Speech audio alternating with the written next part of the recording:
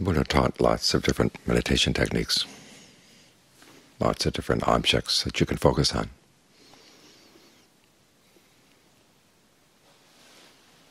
But as Ajaan Lee points out, the breath is the home base.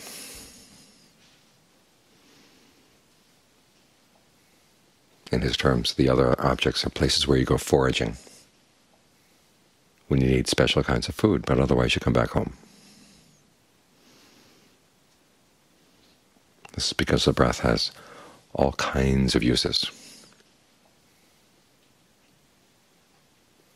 Working with the breath helps you strengthen the body. There's a story of Ajaan Lee going into the jungle. He was planning to spend the rains retreat. Three days he walked into this one spot. And soon after arriving, he had a heart attack. They realized the only way he was going to get out was to pull himself together. There was no medicine. There was no way to get doctors. So he used the breath. And it was a result of his exploring how to use the breath to pull his health together that we have Method 2. So when you're feeling tired, the breath is a good place to focus. You can think about the different parts of the body that need breath energy that have been starved, and give it to them. The breath is also a good place for the mind to grow calm. You think of the breath coming in and out throughout the entire body. Think of your awareness spreading to fill the whole body. It's very difficult for the mind to think when its range of awareness is so broad. It's as if you were going to think about the past or the future. The mind would have to go down these little tubes, and you have to make it small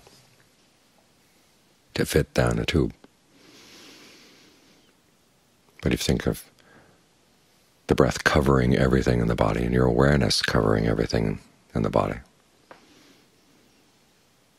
your hands are nailed down to your hands, your feet are nailed down to your feet, everything is in place. Then it's very hard to think about the past or the future, and the mind can calm down, at with the same time feeling very spacious.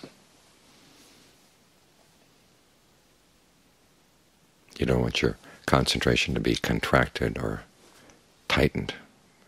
Don't think of your awareness being a light that spreads its radiance in all directions. The breath can spread in all directions too. Come in from all directions, go out through all directions. This is a stillness that's not constricted and it's not confined. It's a stillness that's wide open. Think of having one center someplace in the body, into which everything comes and out of which everything goes. And this centered and broad awareness, as I say often in the directed guided meditations. It's healing for the body, it's healing for the mind. The breath is also useful as a as an object for gaining insight. It's an object of mindfulness. And with mindfulness, it's the ardency with which you work with the breath. It gives you a lot of insight into the process of what the Buddha calls fabrication. There's bodily fabrication, the breath itself. It shapes your experience of the body. There's verbal fabrication. Technically, this is directed thought and evaluation. Well, when you're focused on the breath, you're directing your thoughts here, and you evaluate the breath as it's coming in, going out and you evaluate the mind as it relates to the breath. So you get them to fit snugly together. And then finally there's mental fabrication, feelings and perceptions. Perceptions are the labels you give to things. So for the time being, you just give the label breath to all the energies in the body. And breathe in a way that gives rise to feelings of ease, both physical ease and mental ease. So when you're with the breath, you're here with all the building blocks of the way you experience having a body and having a mind. When you get hands-on experience with dealing with these things in these terms, that's where insight begins. When the Buddha talks about the various ways of dealing with the breath, the basic pattern all the way through is you get sensitive to a particular aspect of how the mind is relating to the breath, either in terms of the breath itself or the feelings that arise from being focused on the breath, or the states of mind as they relate to the breath. You get sensitive to these things, and then you notice how you are fabricating them. The Buddha doesn't say that we're simply passive recipients of things coming in from outside. The minds are actively going out, looking for things to feed on. And the fabrication is how we fix our food. Because the way we feed is the cause of suffering, you really want to get very familiar with how you fabricate things and learn how to fabricate them in a more skillful way. This is what insight is all about.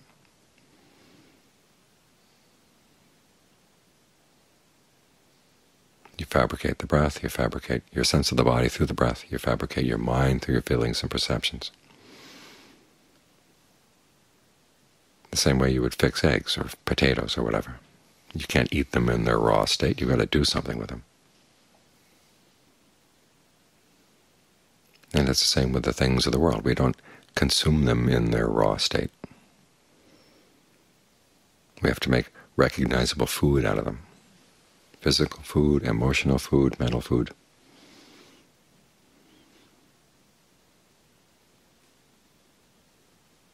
And then we forget about the process of fabrication.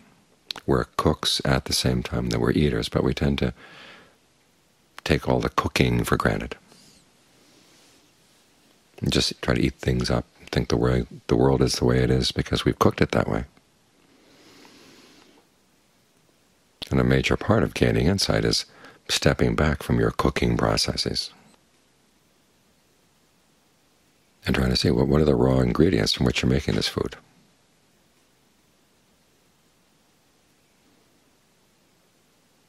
And sometimes it's like those dishes you hear about the Japanese did at the end of World War II. Here they had these barbarians occupying them. And some of the cooks got their revenge by putting a little bit of human excrement into the dishes they were preparing. And they were very clever, very skilled cooks, so they could disguise it. And the Americans didn't know they were eating shit. Well, that's the way we feed ourselves sometimes. We feed on all kinds of horrible things, but we fix them up so we think they're nice. So as you're getting used to seeing how the mind fabricates its experience with the breath, you get insight into these processes of cooking, basically, and then you start noticing how you do this with the rest of the world. You can start taking these things apart and say, what is it? What is the raw material here? Is it really worth consuming? These things we love to feed on. What are they in their raw state? Well, the first thing you've got to do is learn how to tranquilize these processes of fabrication as much as you can. That's the third step in the three major steps in breath meditation. The first two, as I said, were one, getting sensitive to this aspect of your experience, two, getting sensitive to how you're fabricating it, and then three, learning how to calm the fabrication down, calming your breath down, making your perceptions and feelings more calm. In other words, what perception of how you breathe is going to make the breathing calmer? What perception of how you are located in the body, how your awareness is located in the body, allows the mind to grow calm.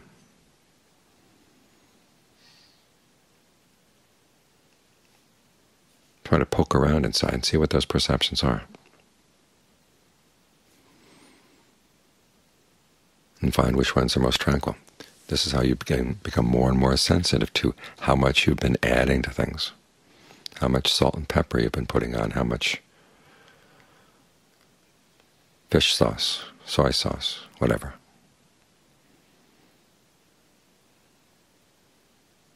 Then you can begin to see things simply as they are, or as the Buddha says, as they've come to be. This gives rise to a very strong sense of dispassion, a desire not to need to eat anymore.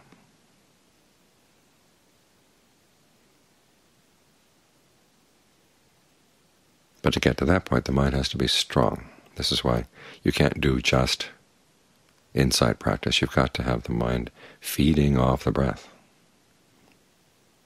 feeding off its concentration, feeding off its mindfulness and discernment. So it can have the strength then to step back from things. Otherwise, if the mind is starved, it's like scientists running an experiment. They've got monkeys in the experimental room, and they've been given a grant to buy bananas to feed the monkeys, but if the scientists are hungry, they'll eat the bananas themselves. So you've got to have the mind really well fed so it can step back and look at this process of feeding from a sense of well-being, from a sense of wondering why you have to keep on feeding.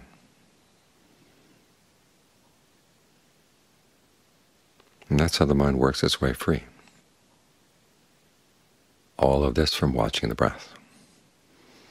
Now, as Ajaan Lee points out, there are other topics of meditation that you may need from time to time. When the mind is overcome with lust, you might want to analyze things down in the body down to the 32 parts, or any other parts that you find particularly effective in putting a check on your lust. Spread thoughts of goodwill or equanimity when you're feeling angry. Contemplate death when you're getting lazy. Not to get discouraged, but to remind yourself you don't have all that much guaranteed time. You do have this moment. The purpose of these contemplations is to get you back to the breath.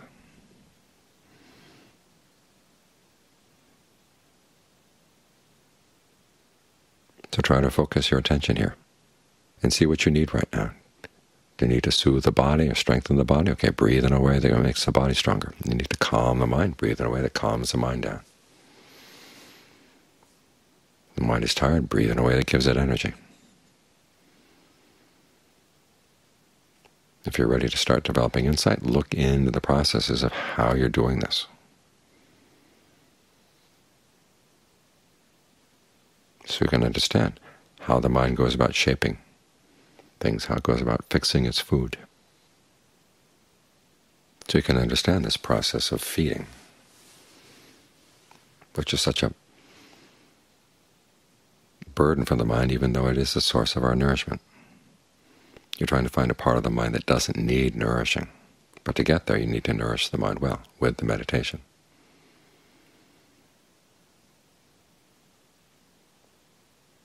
And the breath provides a good foundation for all of these things.